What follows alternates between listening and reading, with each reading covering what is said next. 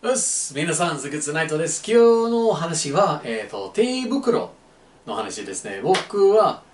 2008年に海兵隊に始めたので、2009年でついに沖縄に来たと、フリートに入ったの時は、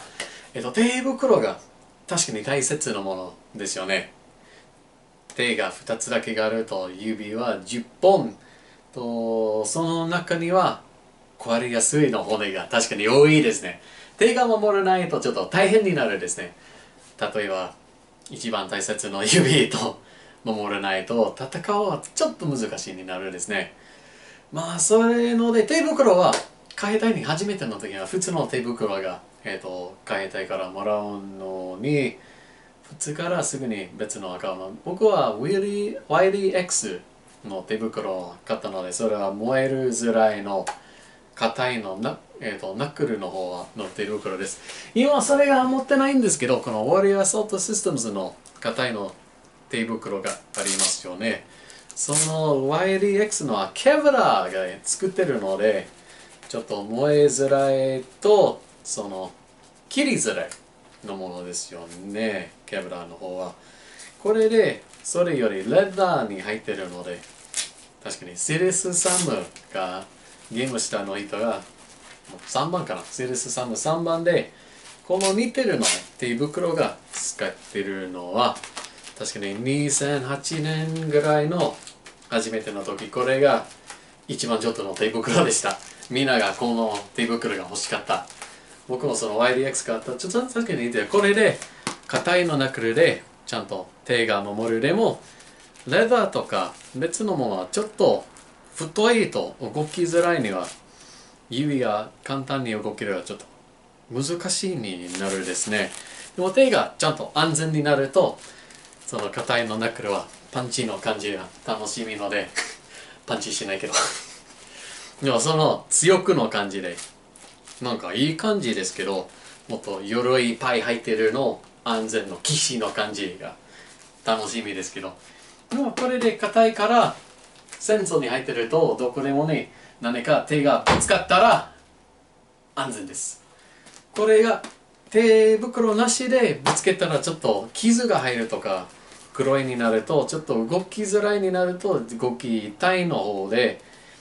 ちょっと戦を続けるはちょっと難しいになるから手が守るが超いいことですね。これだけじゃなくてこの前の方にもちょっと入ってるから何かぶつかったら安全ですよね。親指がちょっとちょっと涼しいのこれがよく熱くなるから動きづらい。確かに手が安全けど何かボタン押すとかギア使えるのはちょっと難しいになるから悪くないけど普通の戦うより動きやすいが必要なことは難しいになるからちょっとだけ今は普通になってるでしょうね。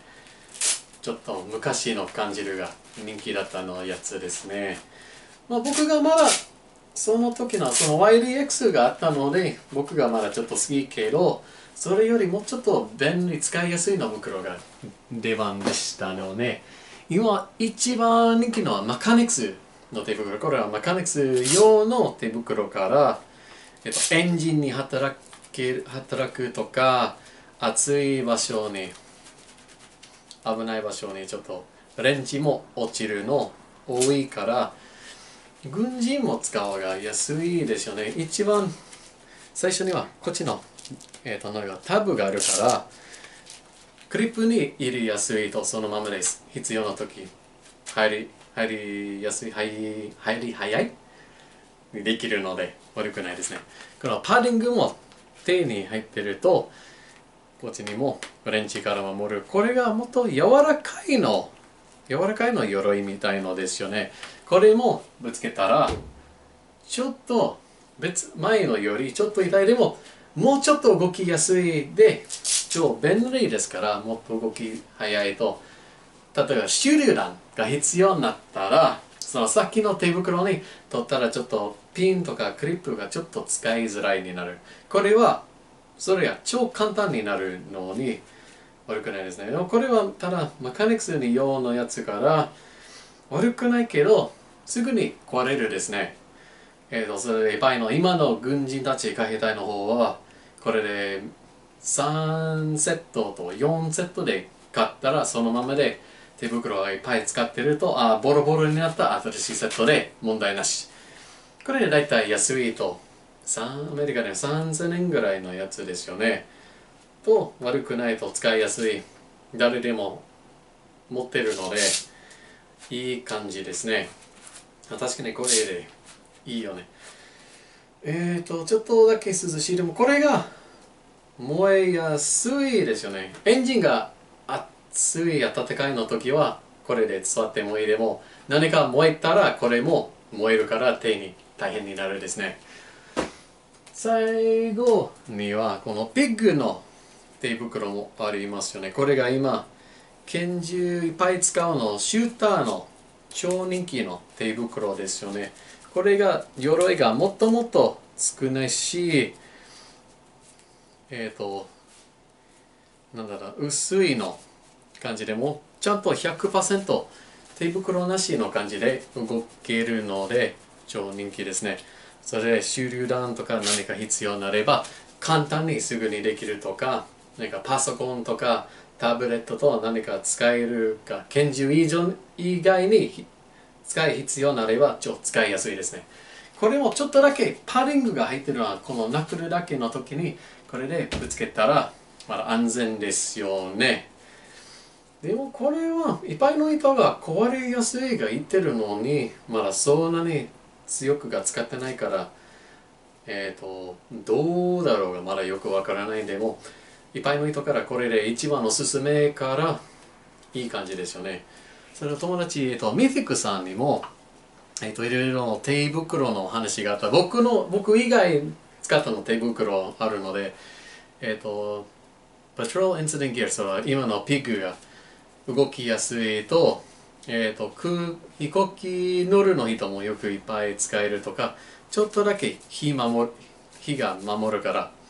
火じゃなくて熱いが守る。火がまだ燃えるけど古くないですね。マカニクスとそれは durability なんとか壊れづらいと壊れるの時に、えー、と新しいのが簡単に安いで交換できるからいいよね。YDX 僕は海兵隊の時買ったの手袋とかそのウォリアーソートスとさ硬いのでちゃんと手守るがいいですけどちょっと動きづらいよね。それと Outdoor Research アウトドアリサーチは1月の韓国に海兵隊の時いたのはそれは上都のは出た超、えーと、指の入ってるとそのシェルの方もあるのでちょ雪がいっぱい降ると風も強いでも手がまだちょっと暖かいが超いいことですねでしたねそれが素晴らしい今が沖縄に住んでるから持ってないですけどえっと、次には、えっと、ファーストタクティカル。それも超冬の時の便利の手袋。僕が使ったことないですけど、友達がよく正しいのおすすめが出るから、いい情報ですね。これが一番好きですけど、そんなに、ま、カネックスとウォーリアソートシステムズの、えっ、ー、と、なんだか、壊れづらいがよくわからないんですけど、もっともっとテストするの時に、えっと、もっとよくわかるようになるですよね。じゃあ皆さんこのビデオはそのままですね。これがとりあえず一番おすすめの手袋。あとでは壊れるの時には新しいの買おうかながまだ決めてないんですけど、とりあえず買おうと思います。じゃあ皆さんお疲れ様です。次のビデオですね。